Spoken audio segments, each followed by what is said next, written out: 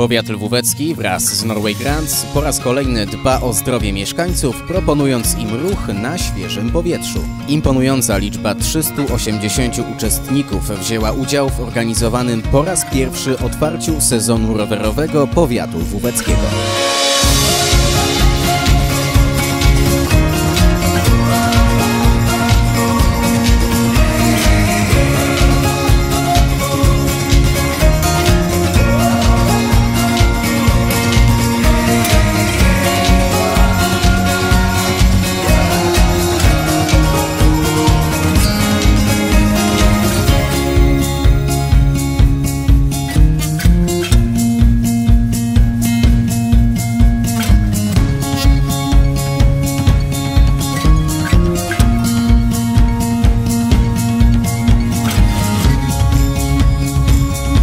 Malownicza trasa o długości blisko 30 km prowadziła przez mało znane tereny powiatu lwóweckiego i oprócz samej radości z jazdy miała również walory edukacyjne. Po drodze było wiele okazji do wzajemnej pomocy, integracji poszczególnych osób i całych pokoleń. Uczestnicy udowodnili, że nie ma ograniczeń wiekowych. Najmłodszy uczestnik miał 3 lata, najstarszy 76.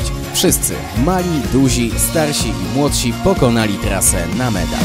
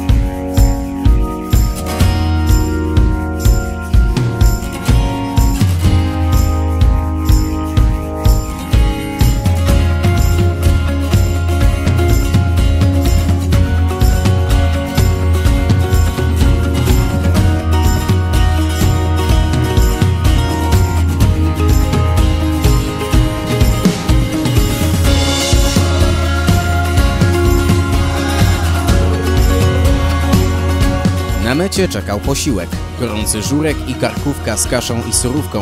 Każdy uczestnik otrzymał gadżety promocyjne przygotowane w ramach projektu. Wiele osób skorzystało z możliwości wykonania podstawowego badania pielęgniarskiego na specjalnie przygotowanym stanowisku.